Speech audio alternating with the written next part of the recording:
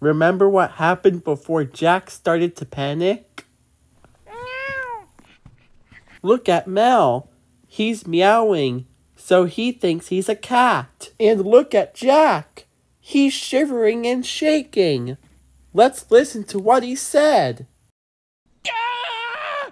My dog's a cat! Yeah. My dog's a cat! And then Ah! he started to panic. My panic. dog's a cat! Uh-huh. Dog's a cat! I think I know why Jack is panicking. Because his dog is a cat. Do you think that's why? I think so too. Let's go ask him.